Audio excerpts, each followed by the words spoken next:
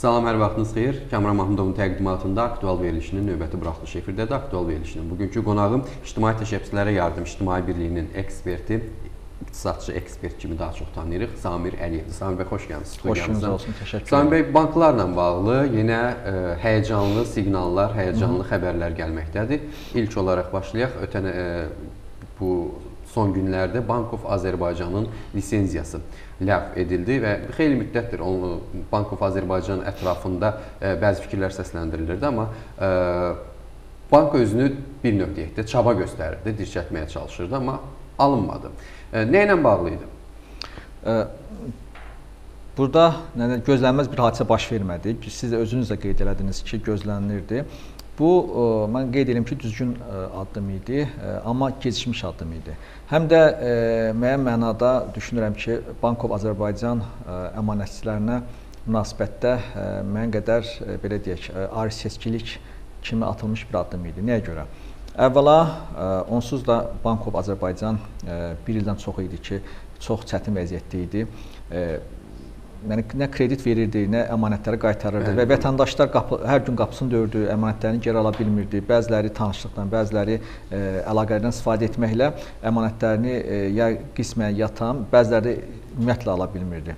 E, bu yəni elə bir vəziyyət yaranmışdı ki, bank nə normal fəaliyyət göstərib əmanətləri qaytara bilmirdi, nə də ki, e, Mərkəzi Bank e, lisenziyasını geri almırdı ki, sığorta hadisəsi baş versin e, və nəticədə əmanətlərin sığortalanması fondu həmin vəsaitləri qaytarsın. Yəni əslində e, təkcə Bank Azərbaycan deyildi, başqa bir bankın da timsalında oxşar hadisələr baş verdi. Ümumən götürən bir neçə bankda belə bir hadisələr baş verdi. E, yəni həmin ərəfədə əslində Mərkəzi Bank bu addım atmalı idi. Bəlkə də bir, bir il bu addım gecikdirilibdi.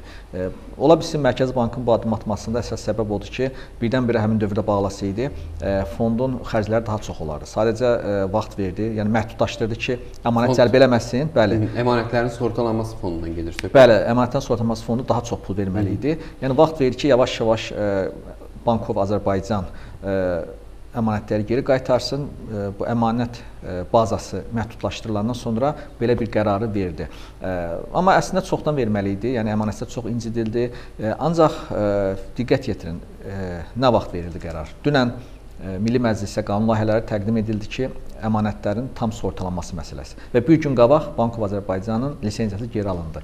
Yəni bu addım ona görə atıldı ki, Bankov Azərbaycanın əmanətçiləri e, əmanətçiləri bu yeni qəbul ediləcək qanundan e, istifadə edə bilməsinlər. Qanunun geri qüvvəsi yoxdur. Bəli, qanunun geri qüvvəsi, yəni bu baxımdan mən bayaq qeyd elədim ki, e, Bankov Azərbaycan əmanətçilərin münasibətdə müəyyən qədər ədalətsizliyə yol verildi. Hə, belə çıxır ki, əmanətçilər ə, həmin o əmanətlərini geri almaqda yenə çətinlik çəkəcəklər. E, çətinlik, e, yəni mən ümid edirəm ki, artıq e, yerdə qalan əmanətlər bir o qədər də böyük deyil və daha çox yəqin ki, bank bankın özünə yaxın olan şəxslərin əmanətləridir və orada təbii ki, əm, sortasiyası baş verib və əmanətlər qaytarılacaqdır. Ancaq 30 min manat kompensasiya civarında olacaq, baş verəcək. Burada da bilirsiniz ki, özünün bir çatışmazlığı var. Çatışmazlıq nədən ibarətdir? Əvvəla kimsə tutaq ki 40 min 50 min pul qoyubsa, onlar ən yaxşı halda 30 min manat kompensasiya alacaq dövlət tərəfindən. Yerdə qalanı artıq ə, bankın vəziyyətindən asılı olacaq. Bu bir məsələ. İkinci məqam bunun ondan ibarətdir ki, ə, əgər 30 min manat tutaq ki 1 il bundan əvvəl ə, hardasa ə, 35 min, 36 min dollar edirdisə, artıq bu gün 19 min dollara düşübdür. Deməli, avtomatik olaraq bu gün mövcud şəraitdə 20 min dollarlıq ə, e, əmanət ə, e, artıq tam kompensasiya məbləğinə düşə bilmir. Yəni burada dollar əmanətçilərinin müəyyən qədər hüquqları pozulub. Ə, e, və yeni, ə, yəni köhnə qayda tətbiq ediləcəyi təqdirdə dollar əmanətçiləri burdan 19 min dollar ala biləcəklər. Bugünkü məzənnə ilə. Yəni 3 gündən sonrakı məzənnə ola bilsin bu məbləğ daha da azalsın. Hə, bəs bunlar ə, həmin insanlar hüquqlarını bərpa etmək üçün harasa müraciət etmək imkanları varmı? Ə, əslində bu qanunvericilikdən doğan məsələdir. Çünki qanunda bir bir mənalı olaraq qeyd edilib ki, e, dövlət 30 min manat, yəni bu valyutanın Bəli. növü də qeyd edilir. Yəni burada 30 min dollar, avro qeyd e, olunmuyor. Ona görə qanuna istinad eləsək, burada e, artıq e, əmanətçilər müəyyən qədər gücsüzdür. Ancaq burada digər məqam ondan ibarətdir ki, e, nəyə görə e, Bank Azərbaycan əmanətçiləri yeni qanunun tətbiq dairəsinə daxil edilməyib. Niyə tələm-tələsik bu addım atılır? Yəni e, bu addım bir il əvvəl atılmalı idi və uzadıldı. Əgər uzadıldısa, bir neçə həftə də gözləmək olardı. Deməli əsas məqsəd e, orada böyük məbləğdə pullar var ki, bəlkə də məbləği bəlkə də 100 minlərlə, milyonlarla ölçülür. Həmin vəsaitlərin dövlət tərəfindən ödənilməsinin ödənilməməsinə nail olmaqdır ki, bu da qeyd etdiyim kimi vətəndaşlara xüsusən də həmin bankın əmanətlərinə qarşı münasibətdə ə, yəni yol verilən bir ədalətsizlikdir. Bankov Azərbaycanın lisenziyası ləğv olunan olunduqdan sonra sosial şəbəkələrdə nəhayət belə deyək, gözlənti var idi, ancaq ilk qaranquş ə, adlandırırdılar onu. Yəni gözləntinin bu dərəcədə banklarla bağlı barədə gözləntilərin bu dərəcədə ə, göz ol olacağını heç kim bilmirdi. Yəni ilk qaranquş o formadakı ilk ilki çökdü. Bundan sonrakılara da yəni bilmək olmaz. Yəni belə bir e, versiya var ki, bu il Azərbaycanda bir çox banklar çökəcək və və yaxud da ki, bəzi ekspertlər deyirlər ki, e, bir çox banklar birləşdirilərək və vəziyyətdən çıxarılmağa çalışacaq. Sizin fikirlərinizi bilmək maraqlı olardı bununla bağlı. Bəli, e, Bankov Azərbaycan e, siz düzgün vurğuladınız ki, ilk qaranquş hesab etmək olar. Yəni bankların e, bazarı tərk etməsinin belə deyək də yeni bir dalğasının qaranquşu bu da Hı -hı. demək o, düzgün olar. Çünki ötən ildə bizdə 2 bank bağlandı. Ondan əvvəl də e, bir neçə bank bağlanmışdı. Onlar o qədər də Bəli. E, onlar yəni deyil. böhran ancaq keçən il bağlanan 2 bank e, bu böhranla bağlı olan məsələ idi və bir neçə bank var ki, artıq uzun müddətdə onlar çox da yaxşı olmayan belə deyək, vəziyyətdə idilər. Vəziyyətdə idilər və böhran bu vəziyyəti daha da yəni pisləşdirdi. Təsəvvür edin, Bankov Azərbaycan 1 il əvvəl devalvasiya baş verməmiş artıq vəziyyət çətin idi. Bu iki devalvasiya nəinki Bankov Azərbaycan kimi bankı, hətta ən sağlam bankı çox pis, çətin bir duruma saldı. Bəli, mən düşünürəm ki, Bankov Azərbaycan bu il e, yəni yeganə bank olmayacaq. Mən bunu bəlkə ilk bankda e, sayardım. E, yəni bu il e, bazarı tərk edən bankların sayı ola, yəni bir neçə bank olacaq ki, bazarı tərk edəcək. Sadəcə olaraq bazarı necə tərk edəcək, e, bu məsələ artıq e, sual doğurur. Yəni biri var bazarı tam tərk edib çıxıb gedir və yaxud da ki, başqa bir bankla birləşərək e, belə deyək, e, bazarı tərk edir. E, mən düşünürəm e, Mərkəzi Bank hazırda e, konsolidasiya bu gün məşhur olan sözlərdən biridir. Yəni bankların birləşdirilməsi siyasətinə əsas üstünlük verir. E, bu 2008-2009-dan bu məsələ gündəmdədir. Maraqlı terminlər olur Mərkəzi Bankın bəli. E, yəni əslində bu iqtisadi terminlərdir e, və mən düşünürəm ki, bəlkə də bu böhranın üstünlüklərindən biri oldu ki, bizə devalvasiya, konsolidasiya kimi və digər terminləri kulkulidasiya Hə. Heç cür anlamaq olmur. Nə hə, yəni düzdür. Sosial şəbəkələrdə müəyyən e, fikirlərə bənzətmələr də həyata keçirilir. Yəni məsələ ondan ibarətdir ki, e, bir neçə bank e, yəni yəqin ki, bazar edəcək. Hətta burada birləşmə halları var və dünən Mərkəz Bankı sədri də qeyd elədi. Amma mən deyim ki, sizə kifayət qədər güclü bankların birləşməsindən söhbət gedir. Yəni mən heç də həmin bankları zəif bank hesab eləmirəm. Yəni bazar payı kifayət qədər yüksək olan bankların birləşməsi. Əgər bu baş verərsə, bazarda əmanət baz bank bazarında böyük bir konsentrasiya yarana bilər, daha güc mərkəzi yarana bilər. Yəni vaxta qədər beynəlxalq bank idi əsas güc mərkəzi, artıq mən düşünürəm beynəlxalq banka ə, paralel olaraq başqa digər güc mərkəzlərinin yaranması tam realdır. Hı. Belə çıxır ki, ölkədə çox az sayda bank qalacaq, amma güclü banklar qalacaq. Bunlar e, ə, təxminən sayları nə qədər olacaq? E, bank hazırda ben Bank Azərbaycanı nəzərə almasaq 42 bank var Bəli, göstərən və bunun sayı çoxdur sayı çoxdur. Mən düşünürəm ki, 2 dəfəyə qədər azaldılmasına ehtiyac var. Yəni 20-25 bank Azərbaycanda yaxın dövr üçün kifayət eləyir. Pozitiv və... proqnozdur. Çünki bəzi ekspertlər ümumiyyətlə 5-6 bankın birləşərək özlərini gücdə saxlaya biləcəklərini deyirlər. Ümumən götürəndə bu gün bankları şərti olaraq iki yerə bölmək olar. Yəni əsasən banklar hamısı zərər görübdür. Yəni birinci qrup o banklardır ki, bunlar zərər görübdür və onlar e, bir müddətdən sonra bu zərərdən çıxacaqlar, heç bir problem olmayacaq. İkinci qrup o banklardır ki, bunlar zərər görüblər və onların e, ayaqda qalması, bank sektorda qalması sual altındadır və uzun müddət onlar e, zərərli işləyəcəklər. Və bu ikinci qrup banklar ki var, e, bu banklar mən düşünürəm ki, e, xilas eləmək lazımdır və yaxud da ki, e, saf çürük eləmək lazımdır. Yəni mən düşünürəm ki, e, Yəni nümunələr də var, ayrı ölkələrdə də var. E, tutaq ki, yaxşı olar ki, Mərkəzi Bank e, bank islahatları çərçivəsində indi bu söz e, son vaxtlar çox e, belə deyək, gündəmdədir. E, bankları şərti olaraq iki yerə bölmək olar. Yaxşı bank, şərti olaraq pis bank. Yəni bu bölgü bankın kiməsə yaxınlığından olmamalıdır. Yəni onun maliyyə vəziyyəti ilə bağlı olaraq yaxşı bank və pis bank. Və yaxşı bankları Mərkəzi Bank xilas eləməlidir. Əlindən gələni eləməli ki, həmin banklar xilas etsin. Yəni onlar likvidlik verməlidir, maliyyə dəstəyi verməlidir və digər addımlar. Amma pis bankları şərt olaraq bunlar artıq taya həll olunmalıdır. Ya birləşməlidir başqa banklara ya, ya da ki, bazarı tərk etməlidir. Yəni bankların mən 5-6 banka qədər 5-6 bank qalmasının mən real saymıram əvvəla. İkincisi də tərəfdar da deyiləm. Düzdür, Azərbaycan üçün 42 bank çoxdur, amma 5-6 bank da yəni az eləyir. Yəni bu gün elə dövrdür ki, bilirsiniz bankların sayı əhalinin təkcə sayı ilə ölçülmür, həm də əhalinin ölkənin maliyyə vəziyyətinə, ölkənin iqtisadi inkişaf səviyyəsi və əhalinin həyat səviyyəsi ilə birbaşa bağlıdır. Yəni ola bilər Lüksemburq üçün bəlkə 50 bank da kifayət edir. Halbuki əhalisinin sayı kifayət qədər azdır. Amma ə, ta ki Meksika üçün ə, mən deyərdim ki, bəlkə 40 bank da çoxdur. Yəni dediyim odur ki, ə, əhalinin sayı burada ə, rol oynamır. Yəni ə, baxır. Yəni söhbət ə, maliyyə, iqtisadi imkanı güclü olan əhalidən gedir. Yəni orta statistik kasıb əhalidən söhbət getmir. Hindistan üçün ola bilər ki, Hı. 1 milyard əhalisi var, bəlkə də 100 bank kifayət eləyər ora. Yəni o baxımdan mən düşünürəm ki, bankların sayı azal azaldılmalıdır.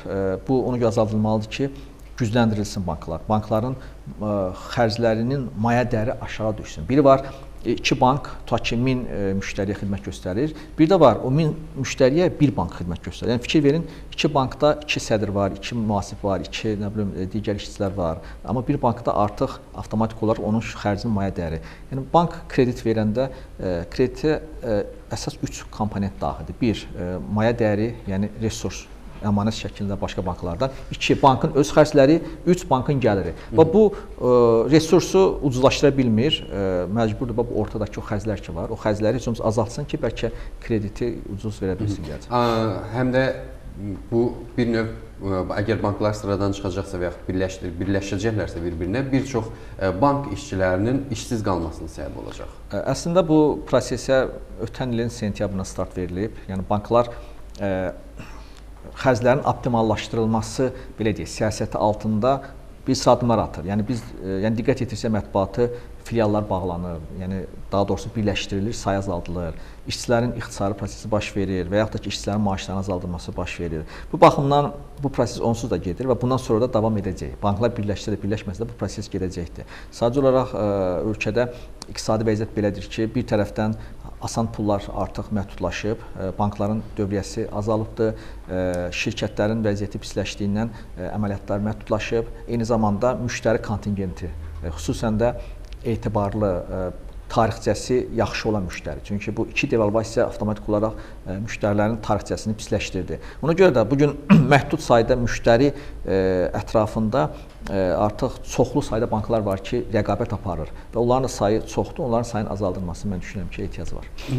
Və keçək ötən gün parlamentdə aparılan müzakirələrə, -hı. banklarla bağlı müzakirələr aparıldı. Hə, hətta Oqtay Əsədov belə bir çıxış elədi ki, insanları fikirləşiriksə, gərək bir banklar üçün də ağlayaq. Belə bu bir növ mesaj idi ki, hökumət bankların yanındadır, daha çox insanlardan. Çünki bundan əvvəl mesajlar verilir ki, ola bilsin ki, dollarla kreditdə olanlar ə, milli məclisdə baxıldıqdan sonra 1 manat 5 qəpik, yəni əvvəlki səviyyədə o əvvəlki məzənni ilə bu dollarlarını, kreditlərini qaytarsınlar. Amma əksinə ə, parlament bunu ə, belə deyək, qəbul etmədi, yəni müzakirələrdən belə nəticə çıxartmaq olar və eyni zamanda əmanətlərin sığortalanması məsələsi də ötən gün parlamentdə müzakirə olundu. Bu iki məsələyə istəyərdim fikirlərinizi öyrənmək. E, təbii ki, Oqtay Əsədovun fikri e, bəzən müəyyən qədər e, biraz ironiya doğurdu, amma Əlbət. o fikirdə e, həqiqət var. Mən e, o baxımdan deyirəm ki, e, bankları əhalini qorumaq vacibdir və dövlətin bir nömrəli vəzifəsidir əhalini qorusun. Amma bankları qorumayanda artıq burdan zərər çəkən həm də əhali olur. Təkcə e, bank zərər çəkmir. Bank sektorunun çökməsi ümumilikdə iqtisadiyyatın çökməsinə gətirib çıxara bilər və biz də bunu bu gün artıq görürük. Ən azı e, manatın sabitliyini itməsində, valyuta bazarında baş verən proseslərdə biz e, görürük bunun fəsadlarını. Əmanətlərin e, geri alınmasının çətinliyində biz artıq bunu görürük. Bu baxımdan bankları qorumaq lazımdır və bu məsələdə məsələn çox təəssüf ki, birinci devalvasiya zamanı banklarla əhali üz-üzə qoyuldu. Yəni təbii ki, əhalinin daha çox haqqı var ki, -hı. yəni hökumətin qərarının ə, yəni hökumətin verdiyi qərardan zərər çəkən həm bankdır, həm də əhalidir və əhali burada daha çox haqlıdır. Əgər hökumət hər hansı bir qərar verirsə, bundan zərər çəkənlər ə, olursa, hökumət mütləq həmin zərər çəkənlərə dəstək verməlidir. Amma ə, bizdə ə, yəni ə, bundan bağlı hər hansı bir addım atılmadı. Nəticədə müəyyən qədər düz Mərkəzi Bank tərəfindən müəyyən dəstəklər oldu banklara, ancaq bu kifayət etmədi və kredit müddətləri uzadıldı. Bilirsiniz ki, faiz dərəcəsi bir neçə faiz aşağı salındı. Amma yenə də problem həll olunmadı. Əhalinin burada yeganə ə, təskini ondan ibarət oldu ki, aylıq ödəniş qaldı əvvəlki səviyyədə, amma ə, müddəti uzadıldı. İkinci devalvasiya baş verdi, yenə də ə, əhalinin, bankların günahı olmadan, yenə də hökumətin qərar nəticəsində. Çünki büdcə ötəyini yerinə yetirmək lazımdır və yaxud da ki, düzgün ə, valyuta rejimi siyasəti aparmaması nəticəsində, ə, yəni ə, Mərkəzi Bankın valyuta ehtiyatları xərcləndi, boş yerinə, boş yerdən və nəticədə də 50%-ə qədər biz devalvasiya gördük. İndi də əhali ikinci dəfə zərər çəkir. Yəni bir e, fevraldan əvvəl kredit götürən şəxslər bir devalvasiyada zərər çəkdi və e, onun altından çıxmamış ikinci devalvasiya. Yəni Burdan belə bir şey yaran, mənzərə yaranır ki, vətəndaş elə ömrü boyu e, kredit ödəməli olacaqdır. Çünki Öyle. hər hər dəfə devalvasiya e, azaldır, azaldır, və, sonra bəli, devalvasiya olur, qalxır yenə. Təsəvvür edin ki, 50% qalxmaq nə deməkdir? Ona görə mən düşünürəm dövlət bu məsələdə dəstək verməlidir, mütləq dəstək verməlidir. Banklara dəstək verməlidir, vətəndaşlara. Yəni bu dəstək təbii ki, müxtəlif formalarda ola bilər. Yəni bir e, forma ə, köhnə məzəni ilə qaytarılsın. Burada vətəndaşlar heç olmasa ə, belə deyək, müəyyən qədər problemi həll olunur. Amma banklar burada zərər çəkir. Çünki banklar xaricdən kredit götürübdü dollarda, onu dollarda qaytarmalıdır. Eyni zamanda banklar əhalidən əmanət götürüb dollardan və onu qaytarmalıdır. Əgər e, kreditlər köhnə məzənə ilə qaytarılırsa, onda gərək bankda e, əmanəti, dollar əmanəti köhnə məzənədən qaytarılsın. Yəni buna heç bir əmanətçi razı olmaz. Ona görə bu halda e, müəyyən bir kompensasiya və yaxud da ki, müəyyən bir güzəşt olmalıdır. Yəni bu güzəşt ona ibarət olmalıdır ki, heç olmasa əgər köhnə belə deyək, kursla məzəni ilə qaytarılırsa, banklara dövlət dəstək verməlidir, kompensasiya verməlidir. Ya kredit şəklində və yaxud da ki, belə deyək, başqa bir formalarda. Bu baxımdan dəstək olmalıdır. Xüsusilə də bu devalvasiyadan sonra belə deyək, valyuta ehtiyatları qorunmaq məqsədi ilə büdcə xərclərini icra etmək məqsədi ilə atılmış bir addım idi və bunun da zərərini həm banklar, həm də əhali, yəni üzləşdi bu problemlərdən. Əmanətlərin sığortalanması. Əmanətlərin sığortalanması məsələsi əslində mən düşünürəm ki, bu gün at, düzgün addımdır. Nə barədə düzgün addımdır?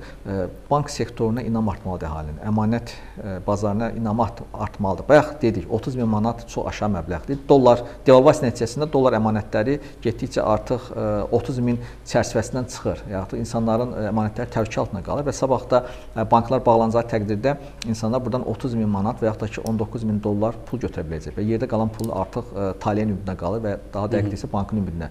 Ona görə bu addım, yəni kompensasiya məbləğinin tam götürülməsi düzgün addımdır. Amma bu düşünürəm ki, qısa müddətli olmalıdır. Yəni uzun müddətli dövrdə bunun çox mənfi fəsadları ola bilər. Yəni uzun müddətli dövrdə mənfi fəsad odur ki, bank belə əmanət sektorunda, bazarında konsentrasiya yarana bilər. Yəni əhali limit olmadığına görə 100 min, 200 min və yaxud da varsa 1 milyon aparıb qoyacaq tutaq ki, tanınmış banklara Çünki bilir ki, sabah hadisə baş versə, dövlət kompensasiya verəcək və nəticədə nəinki kiçik, hətta orta səviyyəli banklar əmanətsiz qalacaqdır. Bu baxımdan indiki dövrdə ola bilsin bu limitin götürülməsi yaxşıdır, əhali inamını qaytarmaq baxımından. Amma mən düşünürəm ki, yaxın bir 1 ildən sonra artıq yenidən limit tətbiq etməyə ehtiyac var.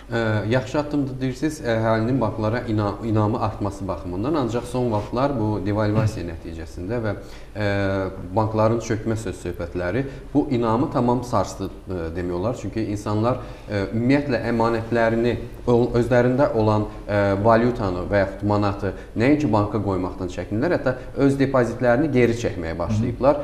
Bəlkə də elə hökumətin atdığı addımlar buna görədir ki, bəlkə insanlar gətirib qoyalar.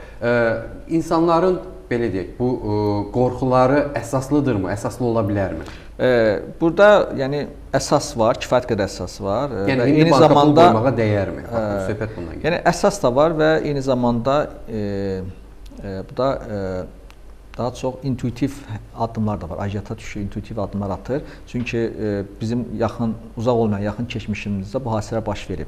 E, problem sığorta sistemi ilə bağlı. Yəni bununla bağlı fikrimizdə demişdik ki, hökumət təcili olaraq bu sistemi yəni təkmilləşdirilməlidir. Yəni nə olsun ki, tutaq ki, müddətsiz, belə deyək də, limitsiz bir kompensasiya hökumət verirsə, əgər Bank of Azərbaycan təcrübəsi olacaqsa, yəni gedib bankdan əmanəti götürə bilməyəcəksə, onda bu sığorta sisteminin heç bir əhəmiyyəti yoxdur. Ona görə də hökumət yəni əmanətlərin sığortalanması sistemini təkmilləşdirməlidir. Bayaq dediyim məsələlər aradan qalxmalıdır və əmin olmalı ki, vətəndaş istədiyi vaxtı gedib əmanətini götürə bilər. Çox təəssüf ki, ə, hətta ölkənin tanınmış banklarının banklarla bağlı da biz nümunələrə rast gəldik ki, vətəndaş getdi, ya əmanətini götürə bilmədi, ya da dollar əmanətini e, dollar şəklində yox, məhz manat şəklində götürmək məcburiyyətinə qaldı. Yəni banklar var idi ki, bu gün dollar öhdəliklərini yerinə yetirmirlər. E, bank e, belə deyək də, manatla dollar əmanətçilərinə əmanəti verir. Təbii ki, belə olan halda həm həmin banka və həmin bankın timsalında ümumi bank sisteminə vətəndaşların əmanətçilərin inamı yəni itəcək. Ona görə təcili olaraq bu problemlər həllini tapmalıdır. Və mən yəni düşünürəm ki, daha dəqiq desək mən bank banklara inamsızlıq aşılamaq istəməzdim və mən istəməzdim ki, insanlarda belə bir inamsızlıq yaransın. Yəni hökumətin atdıqları addım düzdür, hələ ki kifayət eləmir, amma mən qədər mən düşünürəm ki, banklara inam artırmağa kömək edəcəkdir və əgər biz inamsızlıq yəni nümayiş etdirsək, bu həm də bizim özümüzə, yəni ölkə iqtisadiyyatı üçün zərər ola bilər. Ə, amma neyniyək ki, e, bu inam sarsılıb. Yəni bu sizdən və bizdən asılı olan məsələ deyil. İnamı sarsılanlardan biri də e, Mərkəzi Bankın rəhbəri Elman Rüstəmovdur. Onun açıqlamalarıdır. O nə vaxt açıqlama verirsə və e, belə deyək, pozitiv mesajlar verməyə çalışırsa, ondan 3-4 gün sonra bunun əksini görür əhali. Fevralda olmuşdu belə bir hadisə. E, heç bir devalvasiya olmayacağını demişdi. 3-4 gün sonra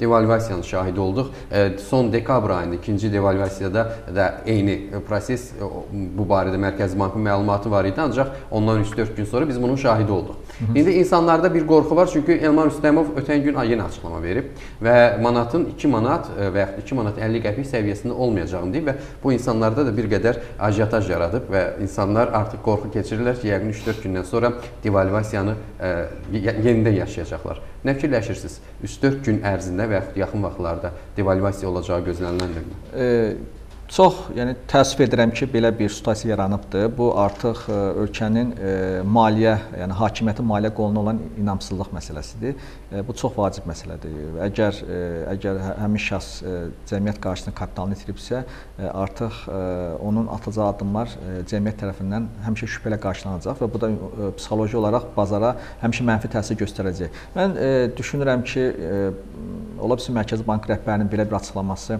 keçən dəfə olduğu kimi cəmiyyəti sakitləşdirməyə yönəldilib.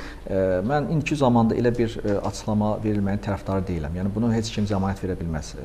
Yəni heç bir hətta inkişaf etmiş dövlətlər də zəmanət verə bilməz ki, sabah tutaq ki, milli valyutasının məzənnəsi necə olacaqdır. Müəyyən bir gözlənti ola bilər. Gözlənti ola bilər ki, yəni iqtisadiyyata arxayın olan dövlətlər, yəni iqtisadiyyatın möhkəm olan, möhkəm təməl üzrə qurulmuş ölkə rəhbəri və yaxud da ki, rəsmi şəxsi belə bir açıqlama verə bilər. Amma mən əmin deyiləm ki, sabah manat, ə, e, yəni 2 manat və yaxud da daha çox e, olmayacaq. Mən buna əmin e, ola bilmərəm.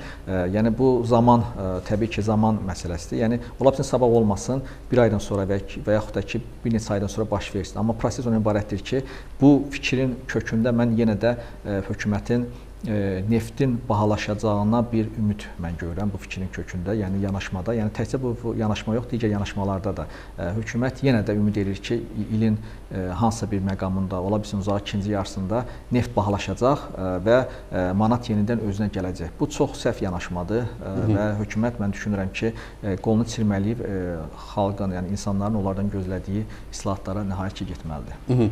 E, Sami bəy devalvasiya olacaq. Devalvasiya ə, e, olacaq. E, bu gün o sual artıq əhəmiyyətini itirir. E, yəni bəzən sosial şəbəkələrdə də yazırlar ki, 3-cü ya 4-cü devalvasiya. Bəli, artıq bəli. devalvasiya gedir. Yəni ə, dekabr 21-dən sonra hər gün, üzür, bəli, yəni. üzür, hər gün devalvasiya, bəli, doğru hər gün gedir. Ə, vacib deyil ki, bu ə, kəskin səth olsun. Yəni devalvasiya gedir. Yəni sabah da bir süyündə, yəni manat ə, ucuzlaşmaqda davam edir və bu davam edəcəkdir. İndi hansı, hansı həddə səviyyəyə qədər? Proqnozlar Bunu, nədir? ə, Proqnozlar, yəni bu çox çətindir. Ə, Yəni hökumətin davranışından belə görünür ki, hökumət ə, üzə məzənliyə keçmək kimi bir addımı, hansı ki bu mən əvvəldən deyirdim ki, bu addım düzgün deyil və buna hazır deyil Azərbaycan iqtisadiyyatı. Buna keçdi və sonra səhvlərini, yəni gördülər, müəyyən bir səhvlərin düzəltmək üçün müəyyən bir addımlar atdılar. Məsəl, üçün 2% marja var idi, ləğv elədilər, təzədən yenidən 4% ə, elədilər bunu. Əslində marjanı ləğv etmək lazım deyildi, əgər üzə məzənliyə keçiriksə. Belə bir vəziyyətdə mən düşünürəm ki, manat ucuzlaşmaqda davam edəcək. Hələ ki iqtisadiyyat, baş verən proseslər manatın sabitləşməsinə heç bir ə, belə deyək, əsas vermir. Müəyyən bir addımlar hökumət ə, yəni atsa, yəni bu gün valyuta qıtlığı var ölkədə. Əgər hökumət valyuta cəlb edə bilsə, indi bu ə, mənbələr var. Ə, Variantlardan biri odur neft fondudur, variantlardan biri odur xarici borclanma və üçüncü daxili borclanma. Bu mənbələrdən istifadə etməklə müəyyən qədər sabitlik yarada bilər və yaratmalıdır da. Ə, Amma ə, mən ə, manatın belə deyək ki, ən azı bahalaşmağı bu gün real deyil və yaxın dövrdə də real deyil. Mar maraqlı məsələlərdən biri budur ki, əgər manatı üzən məzənnə ə, belə deyək, rejiminə keçiriblərsə, niyə Mərkəzi Bank ə, hər addımda onu tənzimləməyə çalışır? Ə, misal üçün, ə, exchange-lər ləğv olundu. Ə, bu ə, ölkədən valyuta çıxarması və valyuta belə bazarının balanslaşdırılması üçün ə, banklara verildi. Sonradan da bəzi banklara ancaq alqı-satqı üçün hətta pul da ayırdılar ə, ki, bu ə, valy xarici valyutaların alqı-satqısı üçün. Yəni bütün banklara bu imkan yaradılmadı. Bu bir növ həm də bu ə, valyuta mübadilələrinin ə, monopoliyasına almaq deyildirmi bunu? Əslində Və mən hər şeyi nəzarətə almaq Mən deyildirmi? ə, bayaq onu nəzərdə tuturdum ki, əvvəl bir qədər boş boşaltdılar hər şeyi, sonra görürlər mümkün deyil və indi başladılar yenidən sıxmağa.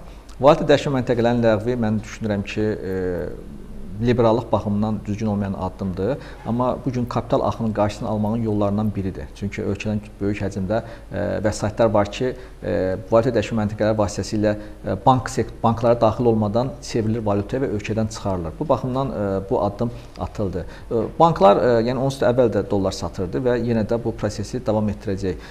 Hazırda neft fondu bu işdə dəstək verir Mərkəzi Banka.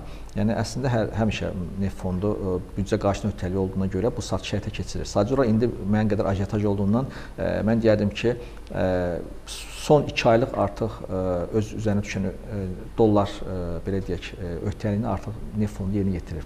6 milyard pul köçürülməlidir. Orta hesabla hər ay indiki məzənlə ilə 320 milyon eləyir. Artıq 600 milyona qədər bu satılıbdır. Bəli, banklara baxsaq, baxmayaraq ki, 30-dan çox banklar iştirak edir bu auksionda hər e, yenə də belə deyək, 4-5 bank ümumi satılan dolların 70%-nə qədərini alır. E, Burada təbii ki, e, iki məqam var. Birinci məqam odur ki, e, əsas banklar var ki, onların daha çox tələbatı ödənilməsinə üstünlük verir. İkinci, yəni amil manat satışmazlığı. Yəni diqqət yetirsəniz, bir tərəfdən dollar insanlar tapır, digər tərəfdən də manat. Manat yoxdur. Manat məhdudlaşıb, Mərkəzi Bank pul kütləsi məhdudlaşdı. Bu gün bankların dollara ehtiyacı var, amma dollar almaq üçün manatı yoxdur. Və ona görə də e, gəlib o Mərkəzi Bankın təşkil etdiyi auksionda banklar iştirak edə bilmir. İştirak eləsələr də e, böyük banklar var ki, bəlkə də bir neçə yüz mindən bir neçə milyon manata qədər dollar alır. Halbuki onların e, tələbatı daha çoxdur. Yəni sözün məsələnin kökündə bu, bu manat satışmazlığı durur ki, nəticədə e, yenə də bir neçə bank artıq öz e, müəyyən üstünlüklərindən istifadə etməklə dolları alır və nəticədə e, bazarda biz dollar qıtlığını görürük. Əslində ə, iş qeyri-iş günü olan ə, şənbə, bazar və bayram günlərində misal üçün ə, insanlar əlində xarici valyuta qalırlar belə deyən dəyişməyə imkan yoxdur. Bir tərəfdən də ölkə ə, ölkədə turizmin inkişafı deyə bir şey ə, istəyirlər etsinlər. Misal üçün onda ə, xaricilər burada gəlib öz valyutalarını necə dəyişəcəklər, onlar da bir çətinliklə üzləşəcək. Vaxtımız az qalır, amma bu ə, məsələlərdən danışdıq. Mən istəyirdim ə, ötən gün verilmiş daha bir ə, pozitiv mesaj barəsində sizin fikirlərinizi öyrənim. Ə, Maliyyə naziri Samir Şərifov ölkənin bu vəziyyətində və büdcənin bu vəziyyətində eyni zamanda ə, devalvasiya gözlənildiyi bir anda ə, insanlara bəyan edir ki, ə, ipoteka şərtləri daha da sadələşdiriləcək və bu insanlara daha əlçatımlı olacaq. İnanaqmı? E, Yəqin ki, burada e, əsas mə məsələ məqam e, ipoteka belə deyək, kreditinin məbləğinin artırılması. Yəni bu gün devalvasiya şəraitində manat ə, belə deyək, dəyərini itiribdi. Ona görə nəzərə alsaq ki, bizdə manatladır. Ə, ona görə də məbləği yəqin ki, artıracaqlar. Yəni faizin artırıl azaldılması yaxşı olardı, amma bilmirəm, yəni bunu azaldacaqlar yoxsa yox. Ə, onsuz da evlərin qiymətində düşmə var, ancaq bu uzlaşma dollar ifadəsindədir. Bu deməkdir ki, manat ifadəsində ya baş vermir, ya da ki, ə, hətta müəyyən qədər bahalaşma olur manat ifadəsində. Bu addımlar atılmalı atılmalıdır. Ə, sadəcə olaraq ə, əsas məsələ ipoteka fondunun vəsaiti hardan almasıdır. Yəni bu gün dövlət büdcəsindən vəsait ayrılır. Əsas onların belə deyək, mənbəyi odur. Sonra əvvəl verilmiş kreditlər geri qaytarılır. İkinci mənbə budur və üçüncü qiymət kağızlardır. Qiymət kağızlar bu gün manatladır, 3% illik verilir. Bunu heç kim almayacaq. Dövlət büdcəsinin vəziyyəti məlumdur. Ona görə xaricdən resurs cəlb etmək məsələsi var. Əgər xaricdən resurs cəlb edə bilsə ipoteka fondu e, bu deyilənlər yerinə yetirilə bilər. Yox, əgər deyilməsə mən düşünürəm ki, burada ciddi əhəmiyyətli bir e, güzəştlərdən e, hələ ki söhbət gedə bilməz. Hı -hı. Təşəkkür bildirəm Sami bəy. Studiyamıza gəldiyiniz üçün və suallarımızı cavablandırdığınız üçün aktual verilişdə. Bugünkü qonağı iqtisadçı ekspert Samir Əliyev idi. Aktual verilişi burada işini yekunlaşdırır. Növbəti görüşlərə dək salamat qalın. Thank you.